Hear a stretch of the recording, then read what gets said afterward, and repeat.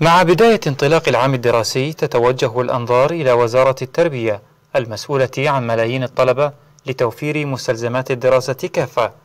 إلا أن الواقع غير ذلك تماما فما زالت العوائل تعاني والواقع التربوي يراوح في مكانه بسبب النقص الكبير في تجهيز تلك المستلزمات. وزارة التربية هي متخلفة حالها حال كل الوزارات بالنسبة للعمل مالها. يعني يعني طبع استخدام الكتب القديمة. هاي راح تأثر على نفسية الطالب. بالوقت اللي هو كتاب جديد يقرأ به وين كتاب عتيق وممزق واحتمال يكون محلول هو سابقا. هذا كله تأثر على النفسية. العد وين الطبع الجديد؟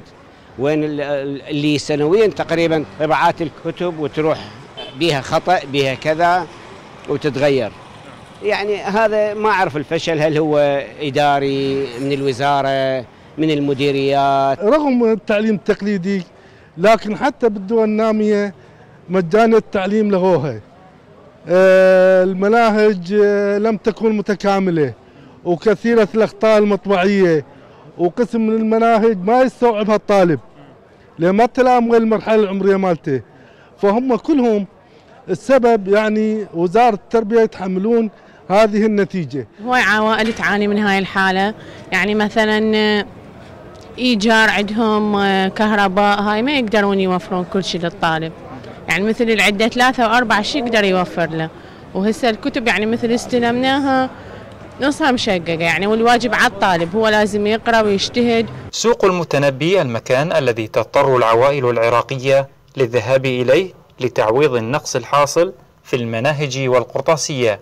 بعد أن أثر عدم إقرار الموازنة على عدم تخصيص أموال كافية للوزارة رغم تخويل مجلس الوزراء بالتعاقد المباشر لها. يعني بنتي يعني استلمت قبل يومين كتب يعني نصها مستهلكة يعني تعبانة. يعني زين هذا الطالب شو يسوي؟ يعني يعني اكو نقص بيها مواد يعني هاي بعد أنتم يعني ما نعرف. يعني وزارة التربية يعني شنو قدموا ما نعرف. إي والله. يعني هذا الموجود هسه حاليا. يعني الواحد يضطر يعني يشتري كتب جديدة أو آه، مستلزمات مال القرطاسيه جديدة مثل الدفاتر. ماكو هاي نهائيا ما ينطوها هاي بس المضطر يعني العائله تشتري القرطاسية الدفاتر الكتب النقص. يعني كل عام دراسي نلاحظ إن هنا الناس تلتجئ من إلى المكاتب سبب من؟